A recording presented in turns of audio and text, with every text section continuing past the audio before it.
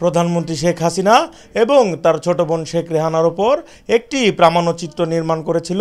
CRI প্রামাণ্যচিত্রটির নাম ছিল এ daughter স্টেল প্রামাণ্যচিত্রটি নির্মাণের দায়িত্ব দেওয়া হয়েছিল পিপলু আর খানকে। সেই পিপলুয়ার খান এখন সরকারের বিরুদ্ধে মাঠে সরব। শিক্ষার্থীদের জন্য মায়াকান্নায় আবেগ আপ্লুত হয়ে পড়েছিলেন পিপলুয়ার খান। শুধু পিপলু একাই নন, গণভবনে প্রধানমন্ত্রী যাদেরকে ডেকে পিঠাপুলি খাইয়ে আদর আপ্যায়ন করেছেন, যারা বিভিন্ন সময়ে প্রধানমন্ত্রীর সাথে ফটো সেশন করে বিভিন্ন অনৈতিক এবং অবৈধ সুযোগ সুবিধা আদায় করেছেন, তারা এখন ভোল পাল্টে দিতে শুরু করেছেন।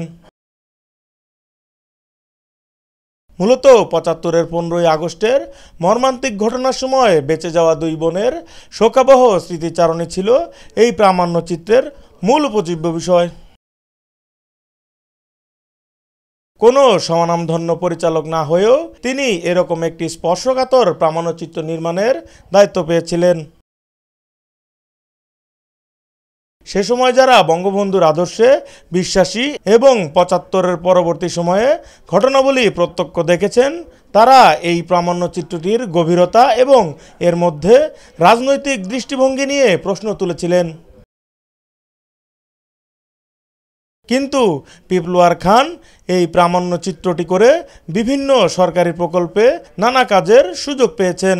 তাকে অনেকে জামাই আদর করে বিভিন্ন প্রকল্পের কাজ দিয়েছেন।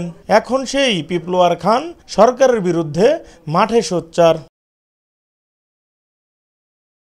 নিউজ ডেস্ক ভোরের পাতা।